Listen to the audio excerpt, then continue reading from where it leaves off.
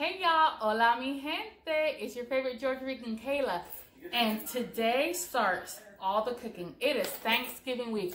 Today's Tuesday and I'm gonna be doing my, I'm gonna be hosting my parents and some of my in-laws here at my house. And gonna be doing all the traditional things and some Puerto Rican things. So hopefully I can show you a little bit of how I put my spin on a holiday tradition. Let's get started. This is what you need for my easy, quick, yummy Thanksgiving turkey. I'm going to put a little bit of rosemary, thyme, parsley. Have your turkey thawed out, washed and clean. Fresh garlic, some butter. Have some seasonings. It's kind of like an all-purpose seasoning. Garlic, salt, bay leaf, adobo, another all-purpose seasoning but has different flavors. Some thyme, oregano, and some rubbed sage. This is a combination of Puerto Rican and American flavors. All right, the first you want, thing you want to do is make sure your turkey is thawed out completely, washed, rinsed. Your hands are clean. You don't have any jewelry on. Uh, to put your hair out. This is a time to get in the kitchen. This is the marathon of cooking. Thanksgiving is. So what I'm going to do is I'm just pulling apart, separating the skin from the meat of the turkey.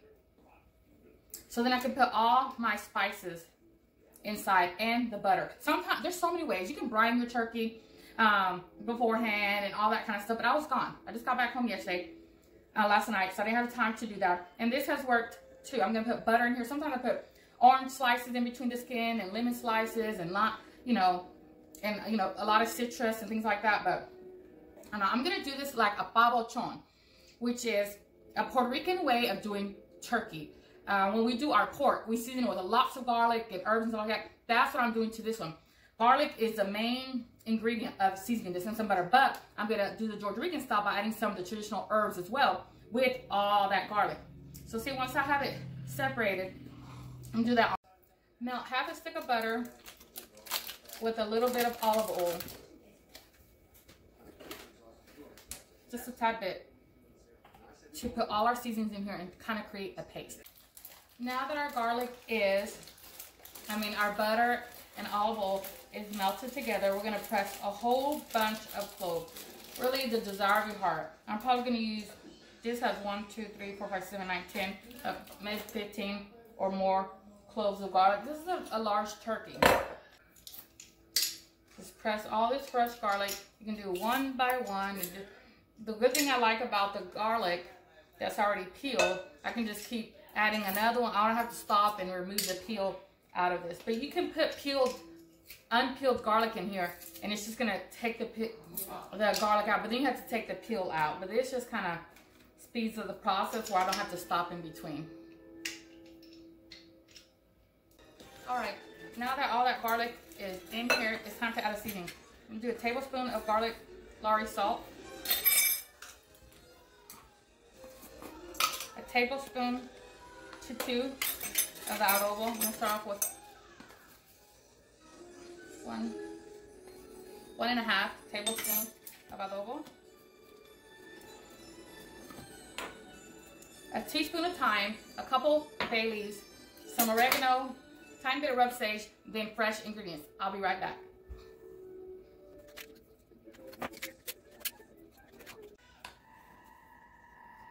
I love this all-purpose seasoning because it has citrus in it, like citrus peels in it. So it gives it that lemony, orangey flavors, um, even though I don't have the fresh citrus in here. It's going to give a hint of that.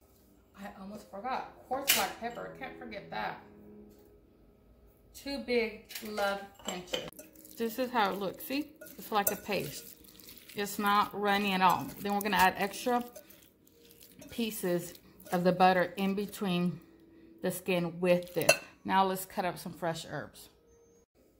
This is thyme from my garden. I'm just pulling back on this and dropping it. I'm not going to chop it or anything. Remember, the tops are always tender, so you can just pluck those off. Another beauty. Comes out so thick. You can always rub it if little branches like this come off with it, and it'll come off. Smells divine already up in here. So we just want, you can always do a bundle, like a, a bouquet of all your herbs, stick it in the cavity and it'll all come out, bundle it with a little twine, and then you don't have to worry about retrieving, you know, having six, you just retrieve that and everything should have came out. But I'm going to do the same thing with my fresh rosemary from my garden. See how I'm just pulling back against the stem. And then get all these. Yummy. Then I'm to run a knife through it. So I don't want the huge, huge chunks of rosemary. I love poultry and rosemary. It's just a great combination. Especially roasted. Mm. You can do this on your veggies as well. Yum. All right, you guys. Fresh from my garden. Ooh, this looks amazing. Some parsley. We just want the leaves. So you can just kind of put your knife and kind of strip, pull, and just strip it. It's just gonna give it just some of that earthiness, freshness. And I'm gonna actually get a little bit of cilantro for that George Rican spin. I'll be back. I mean, how is this gonna be George Rican if I don't have a little bit of cilantro? You know what I'm saying? Blend it in with this. Cut it up. Add it to our bowl.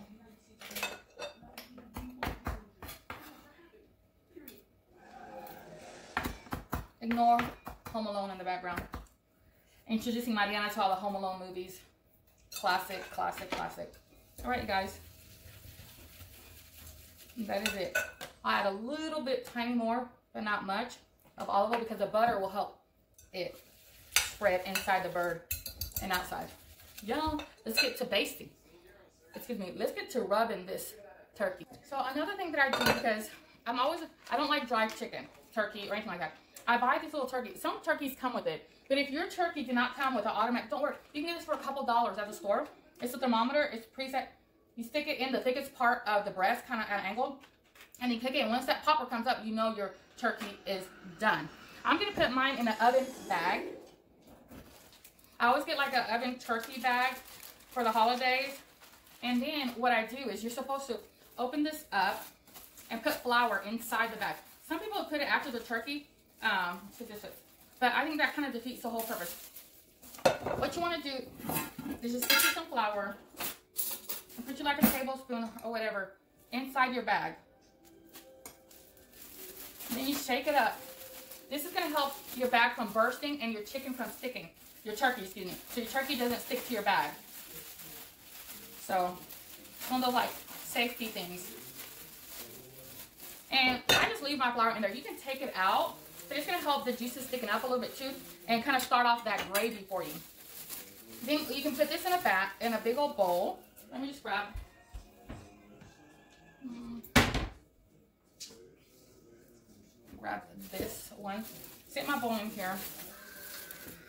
That way it's easy to stick my turkey. Grab my turkey. Remember, I separated the skin all around. This is where the breast is, but I went and I did the legs as well. I flipped it over and did on this side. So you want to make sure your hand can go all inside this turkey. We're just going to start stuffing it with all this yummy seasonings all in underneath the skin of this turkey. So easy, just like this. Get down that leg, on those breasts, on those thighs, and then I'll rub it all over too. Here come the breast. There's kind of two sections. Split that up. Go all the way down. You can see through the skin how I'm getting all in those crevices. That's why you don't want no jewelry on, no rings, no anything, no bracelets, no watch, because you got to get up in here and get dirty.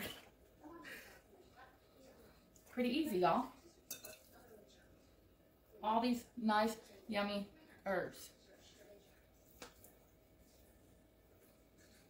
Put it inside your turkey as well. It'll be cooking, releasing flavors and stuff. And now, rub it with all these seasonings. Then I'm gonna get my butter, cut it in like half an inch or one inch, and stick it all inside and outside and in between the skin of my turkey, stick it in my bag and put it in my roasting pan.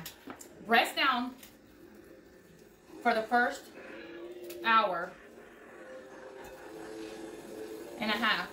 Then I'm gonna flip it over, have the breast up for the rest of cooking time for another hour.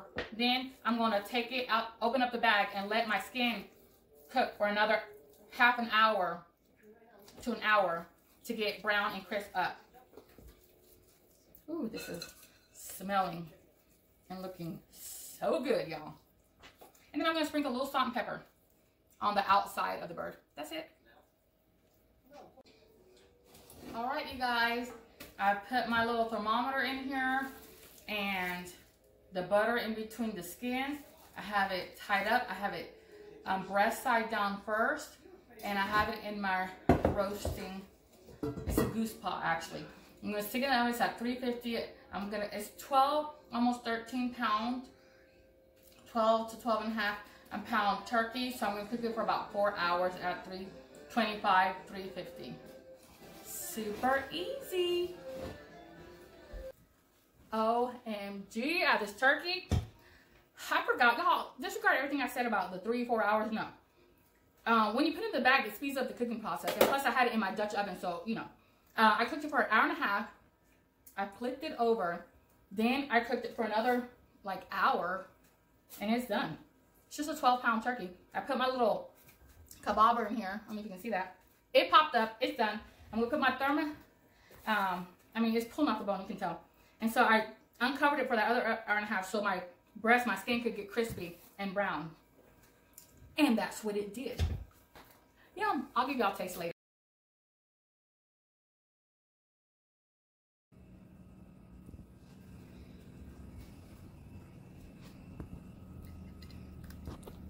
Just a simple, get whatever dishes you have, mix match, lights, a couple chargers. Make it simple, have a little flower arrangement. This happens to be my wedding anniversary flower arrangement, but okay. And it'll be just nice and perfect for dinner tonight. OMG, y'all. Look at the sweet potatoes, how delicious they came out. My mac and cheese. My cornbread dressing. How about tasting? I'll let y'all know. The ham and the turkey. Of course, I made some green beans. Well, actually, Richie made these. And homemade dressing, gravy from the drippings of the turkey. And then we can't have a Georgia Rican meal without some arroz con gandules. So there's my Georgia Rican spin. Y'all, everything just turned out beautiful. The food was amazing. And the best part was being with family. From my kitchen to yours, buen provecho.